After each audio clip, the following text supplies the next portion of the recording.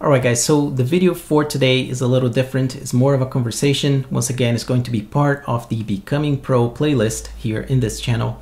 And we're going to be talking about the differences between the starving artist and the thriving artist.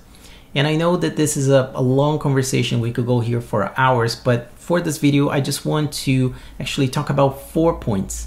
And these four points are going to be examples on how you actually um, can perceive things as an artist the starving artist has a certain view of you know how the do's and don'ts of their practice and the thriving artist maybe allows himself or herself to be able to experiment and play with a little bit more things and also is a very organized person or should be so that he actually is able to create and also do some other things which we'll talk about in this video. So let's just start. I think that the very first item here in this list on how the starving artist actually believes is that focusing on making money from their art prevents them from making good art. And this is something really interesting. It's quite common actually to find a lot of artists who say, I will not do any commercial work, I will only do the art that I believe.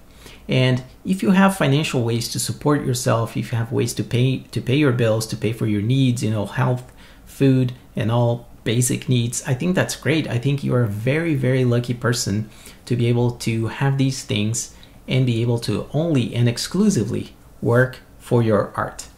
However, I do find that the thriving artist is able to see that, you know, the day has 24 hours, taking off the hours to eat, sleep, and do your basic needs take care of yourself.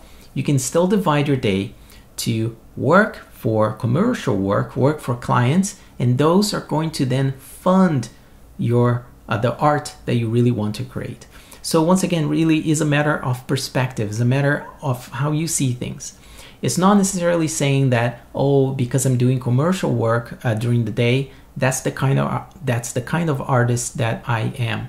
And it's really not. It's what you put online, it's what you put to others that really speaks for your brand. So if you do that commercial work, and you just keep it in the back pocket, keep it in a drawer. You don't have to really share that unless you're really, you know, unless you are quite proud of what you did for a specific client or project. But otherwise, the thriving artist is looking for opportunities to do, do this kind of work so that he can fund the work that he really loves and believes in.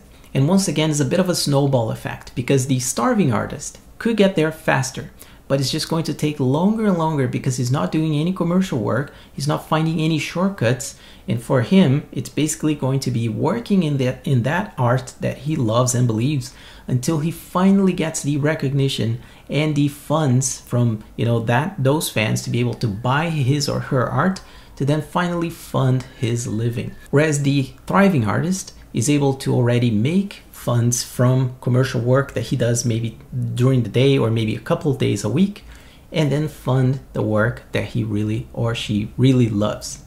All right, so point number two is also quite common and as well a little bit controversial, but it's that idea where the starving artist believes that good art doesn't need to be doesn't need to to be sold anywhere. It just it gets picked up naturally. People will just see it and fall in love with it and just kind of share it to the four corners of the world, and you don't really have to do anything.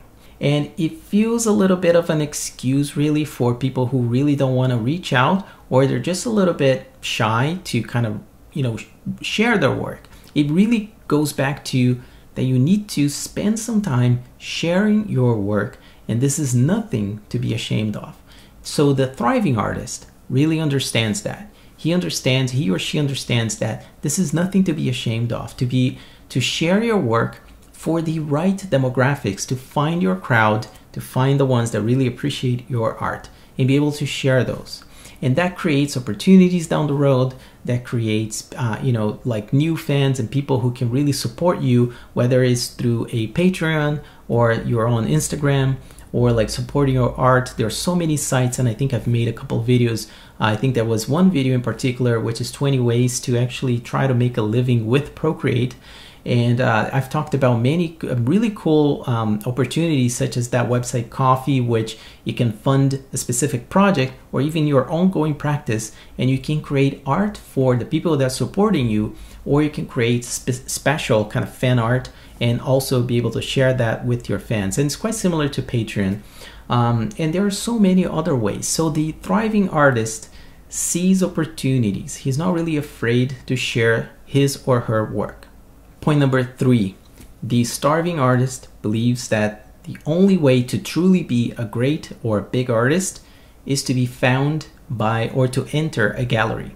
And this may actually come from the old masters, the old painters, how they were commissioned by wealthy families.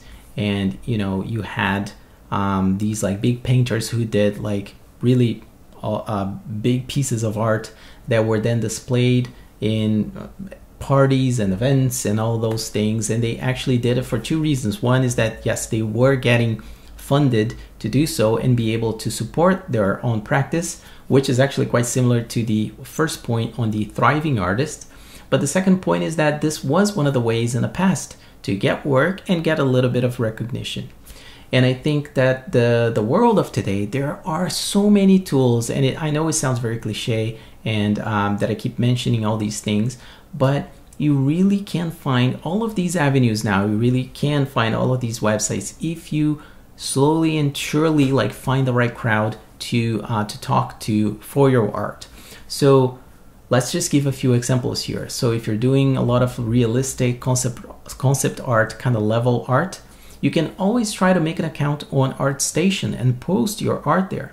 If you make some uh, very graphical stylized art, such as the ones that I actually create here in this channel, Instagram is a great place. Dribbble is a really, really great place because it kind of speaks more to graph graphic designers.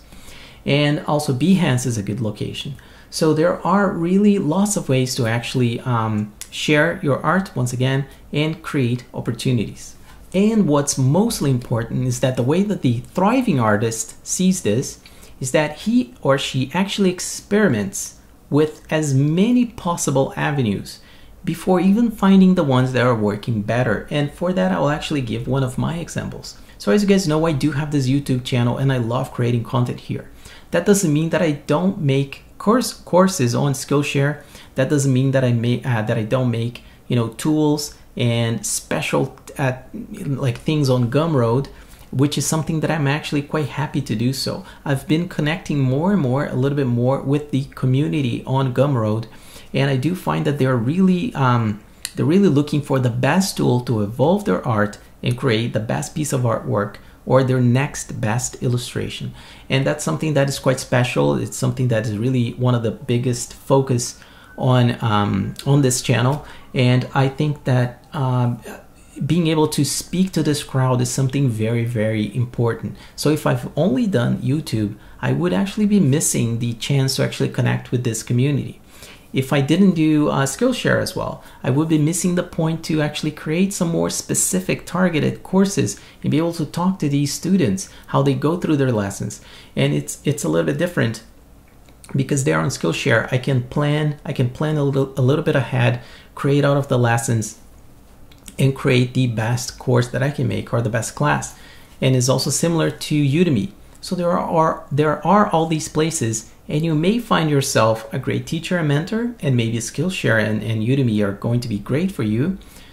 But maybe um, you might as well, you maybe you see yourself like being kind of uh, like a live stream artist. Maybe you're doing Twitch, Mixer, you're doing other websites where your uh, your practice is a little different. It's more about creating that piece with your viewers, with your audience, and not really about planning ahead a course of 12 lectures. So without the thriving artist tries all of these avenues and once again finds the one that works best for them. And now point number four, which is also quite controversial because it really goes down to one of the essences of the starving artist, is that he or she really believes that they need to stay small and have a little bit of that suffering, that struggling for them to be considered a true artist. This again may stem from stories from the great masters. Once again you know you hear like all these stories of like great writers great painters how they suffered a lot through creating art. But i personally believe that art doesn't need to be created only from a place of suffering. Uh, it, it is a very powerful uh, thing to channel that uh, emotion in a piece of art. But you can also you can also channel other emotions as you're creating. And it doesn't mean that every artist should suffer or needs to suffer that much to be a famous artist or to create whatever he or she needs to create. So once again, the thriving artist believes that to make good work, to make great work, it comes from a place of passion. It comes from a place of putting a lot of hard work. So if you have passion and if you have hard work, even if you don't have a lot of talent, because some people, yes, they are gifted and they already start maybe with a lot of talent. And even though, as we say in the world of illustration, it's a lot about repetition, it's a lot about studying and repeating forms and shapes until they you actually have a library of shapes in your mind. And that's how a lot of great artists they, they're just able to repeat that shape through many angles. And that's how they draw characters, that's how they draw locations. And references are such a big thing. But uh, in a nutshell, I believe that having passion and hard work, that's what make great art for the thriving artist. He doesn't need to be suffering that much. He doesn't need to not be trying to sell or share their work. He's finding active ways to sell their art so that he can he or she can fund their art. They are sharing their art. They're not really uh, being shy about it, and they don't believe that like suffering is the only way, the only emotion that needs to come out to channel to make great so I believe that's it for this video guys, but now for the question for the comment section down below is, for this year of 2020, and I know this is a year full of challenges, is there one thing that you have been trying to do a little bit differently when it comes to your art? Let me know in the comment section down below if you have been trying something different this year for your art, whether you're trying a new website, whether you're trying like a new service or even a new technique. Is there anything that you have been trying a little bit differently when it comes to your art? Let me know in the comment, comment section down below if you have been trying anything new for your art this year. So that's it for this video guys. Hope you guys enjoyed it. If you did, a like would be super appreciated. As well as make sure to hit the subscribe button and the bell notification icon for more content, more reviews, tips and tricks, and speed paint videos. And that is all for you to become a better digital illustrator.